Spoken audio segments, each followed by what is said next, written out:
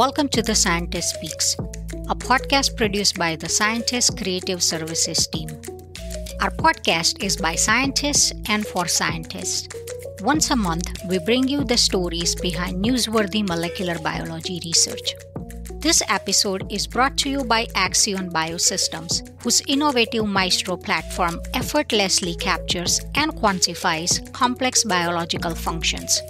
Whether modeling neurological disease or developing advanced cancer immunotherapies, the Maestro platform delivers sensitive real time results to empower your research. Epilepsy is one of the most common neurological conditions affecting over 65 million individuals worldwide and is characterized by recurrent, spontaneous, and uncontrollable seizures. Seizures commonly arise in the epileptic brain after a sudden burst in neurological activity. While many anti epileptic drugs control seizures, one third of patients with epilepsy fail to respond to them. Managing drug resistant epilepsies poses a challenge to scientists and clinicians alike. In this episode, narrated by Niki Spahich, Sejal Davla from the Scientist Creative Services team, spoke with Evangelos Kiskinis, an assistant professor at Northwestern University Feinberg School of Medicine, about his work modeling drug resistant epilepsies using induced pluripotent stem cells, which offers novel disease management solutions that could translate to the clinic.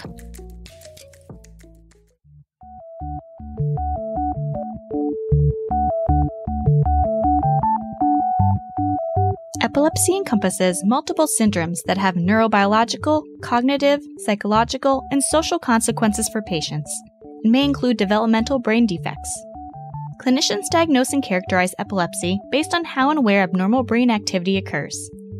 For example, primary generalized seizures arise in most brain areas at once, whereas localized or focal seizures are restricted to a single brain region. Patients experiencing seizures have different symptoms depending on the brain regions involved. Focal seizures cause involuntary jerking of body parts, such as the arms and legs, or briefly suspended sensations like taste and smell. Generalized seizures impair consciousness, which could have devastating consequences for the person experiencing them. Because of this, timely diagnosis and treatment are crucial for epilepsy patients.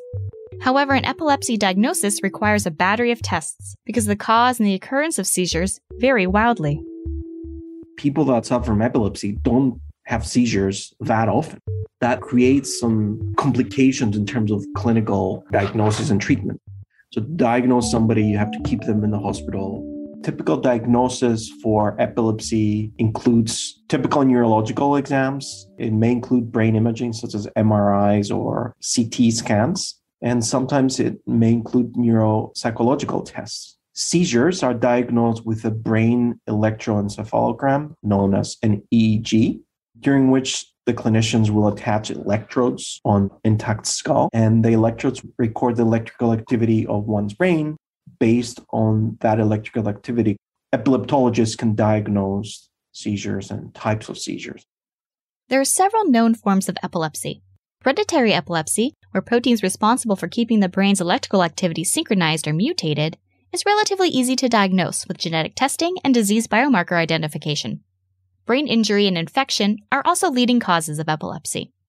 However, for 70% of epilepsy patients, the cause is unknown.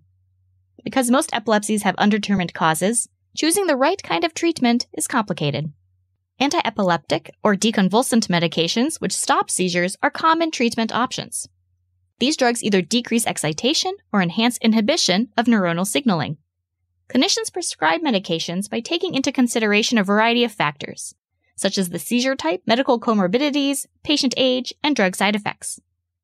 Identifying the right drug or drug cocktail that successfully stops seizures is a challenging task.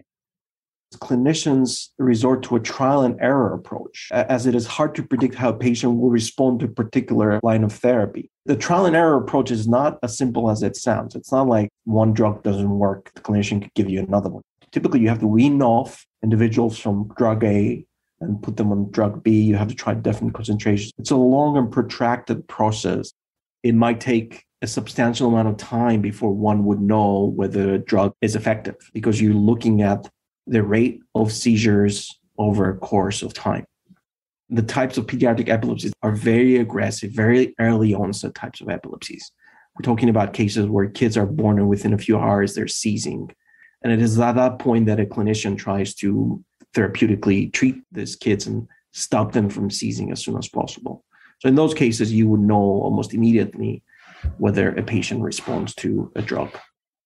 In certain hereditary epilepsy cases, clinicians know the causative genes, so they can prescribe drugs based on the genetic diagnosis. For example, pediatric disorders such as KCNQ2 epilepsy and Dravet syndrome are caused by a single mutation in a potassium channel gene or a sodium channel gene, respectively. Dysfunctional potassium and sodium channels predispose brain cells to generate excessive neuronal activity, which causes seizures. Therefore, clinicians can quickly prescribe treatments that address these defects by balancing ion concentrations. Genetic screening has only been established in recent years, can definitely facilitate drug selection. For example, KCNQ2 developmental epileptic encephalopathy, which is a disease we're focused on, these children benefit by being treated with sodium channel blockers. In contrast, you wouldn't treat a Dravet patient who has sodium channel haploinsufficiency with a sodium channel blocker. However, we have to remember that genetic epilepsy represents a small proportion of all epilepsy cases the ion channel associated epilepsies represent only about 50% of all known genetic cases. It still is a small proportion relative to the overall population of epilepsy. So, so genetic screening does help, but it only helps a small proportion of the population. Despite best efforts, one third of all epilepsy patients fail to respond to currently available anti epileptic drugs for unknown reasons.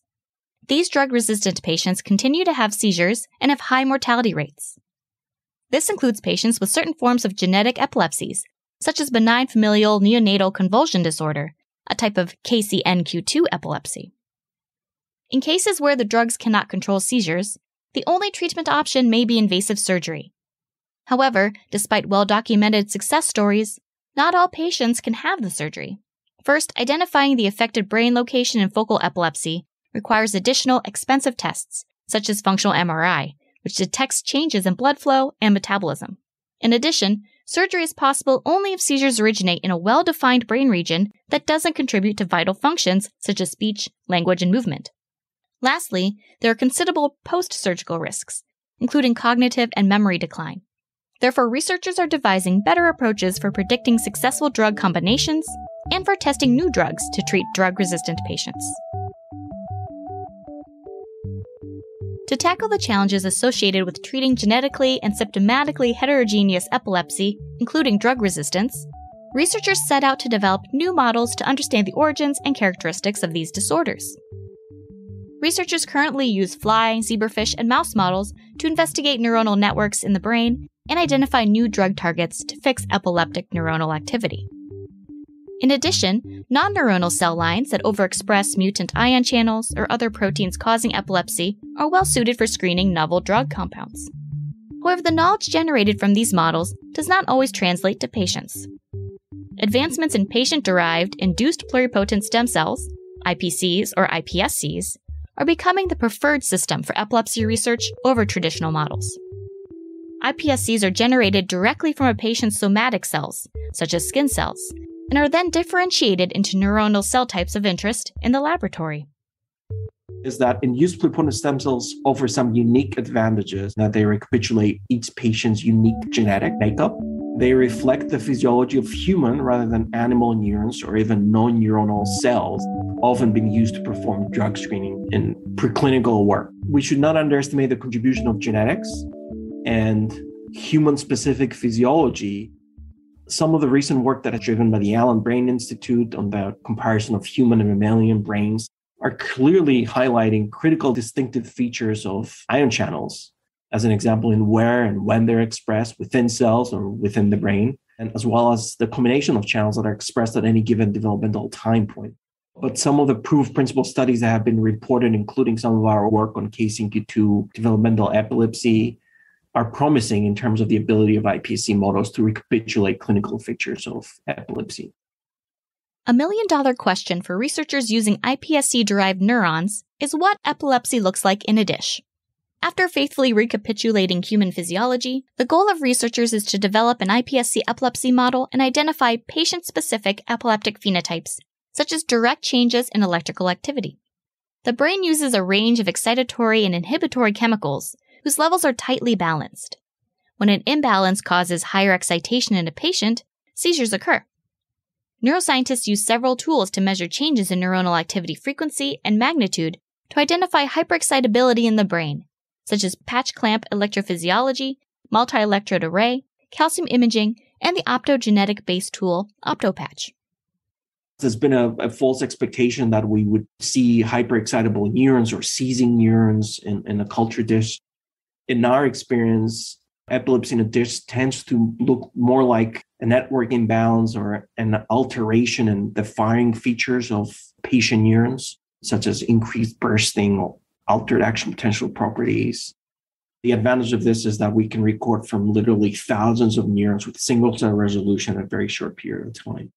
Using a combination of these methods, we and others have reported distinct features of epileptic IPC derived patient neurons relative to control ones. We found that IPC derived neurons from patients with potassium channel mutations exhibit burst suppression behavior on a multi electrode array platform that's highly reminiscent of what is seen in the respective EEG patterns of the same individuals. Because the cause of so many epilepsy cases is undetermined, researchers found that studying neurons alone in cell culture is insufficient. Beyond looking at neuronal firing phenotypes, researchers aim to understand epilepsy in the context of the whole brain. Many epilepsy researchers focus their work on iPSC derived cortical neurons that resemble neurons in the human cortex, a brain region where seizures typically occur. However, the brain is composed of several molecular and functionally distinct cell types. Genetic aberrations or injury in any of these cells, or aberrant communication between them, could cause hyperexcitability in the brain.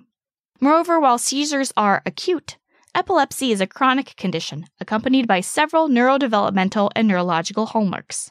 To investigate cellular changes in epilepsy brains, researchers started growing 3D brain organoids from patient derived iPSCs that incorporate other brain cell types.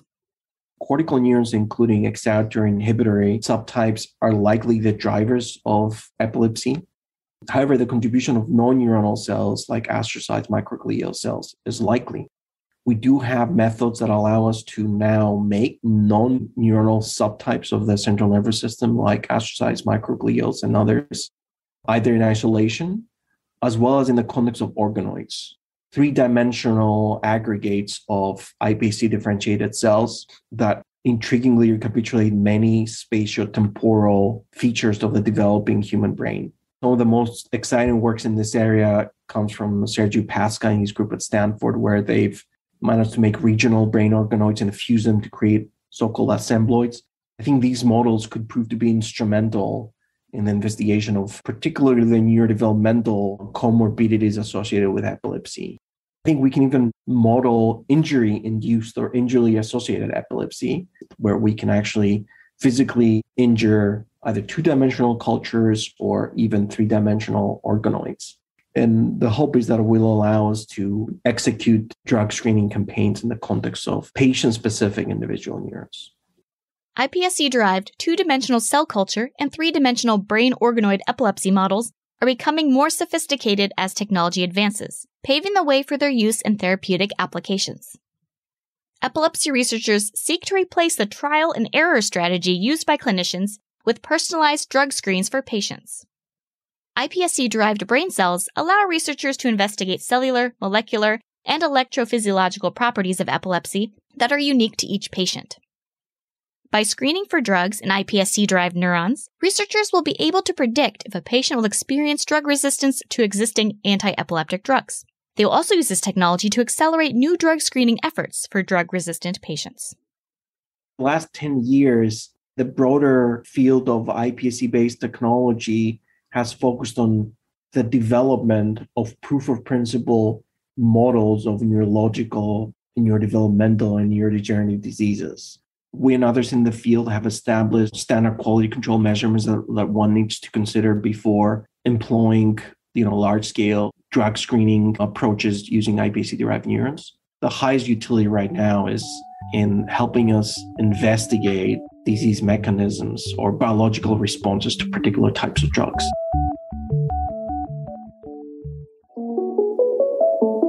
Thank you for listening The Scientist Speaks. This episode was produced by the creative services team for The Scientist and narrated by Niki Spahich. And thanks to Axion Biosystems for sponsoring this episode. Please join us next month as we learn about designing minimal synthetic cells. To keep up to date with this podcast, follow The Scientist on Facebook and Twitter and subscribe wherever you get your podcast.